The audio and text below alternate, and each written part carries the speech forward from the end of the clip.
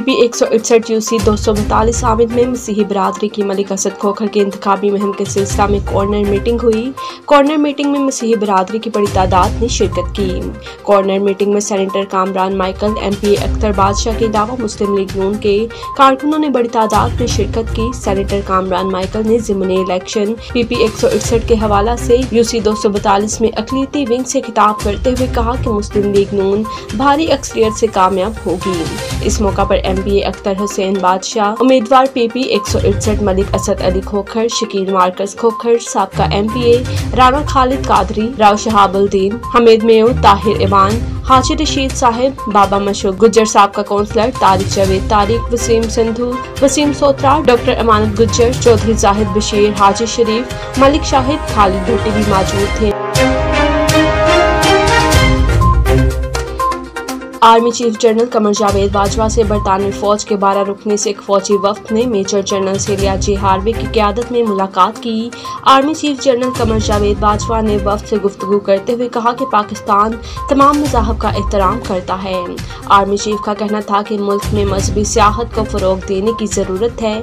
उन्होंने मजीद कहा कि करतारपुर राहदारी मजहबी आज़ादी और हम आहंगी के लिए पाकिस्तान के गैर मुतजलजल अज़म का अमली इजहार है।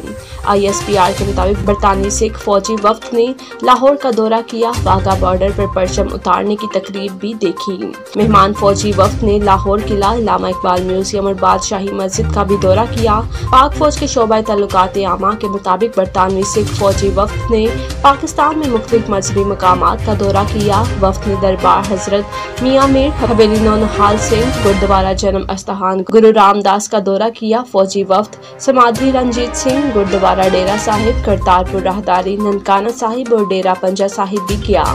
बरतानिया से आए फौजी वक्त ने जिला और कजई का भी दौरा किया। समाना किला लाखहाट फोर्ट और सारा गढ़ी यादगार का मुशाह किया। आई एस पी आर के मुताबिक बरतानवी फौजी वक्त ने सारा गढ़ी यादगार पर फूलों की चादर चढ़ाई और कबायली इस्लामी अमन के लिए पाकिस्तान की मसला अफवाज की कोशिशों को सराहा।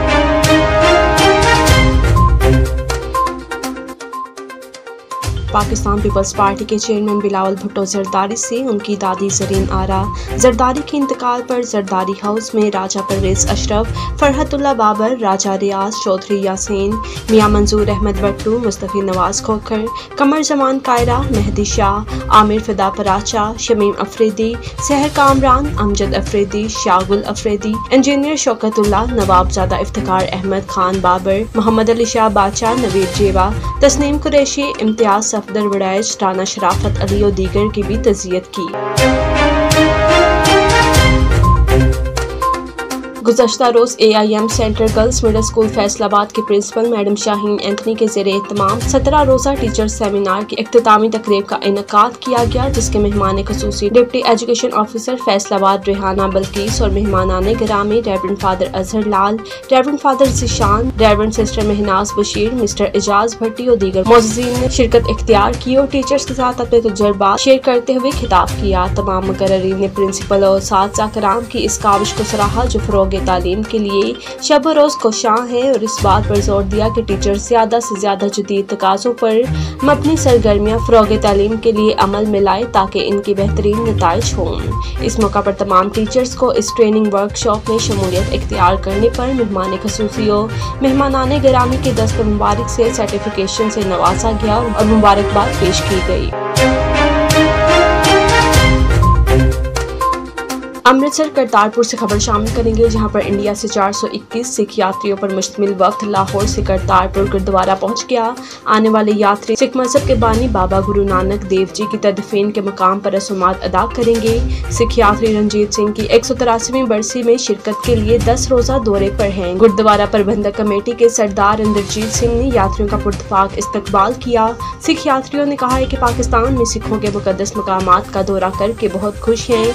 जो चीज़ हमें ज़्यादा खुश करती है, वो पाकिस्तानी अवाम की मेहमान नवाजी और मोहब्बत है। यात्रियों ने सिक्योरिटी इंतज़ाम की भी तारीफ़ की।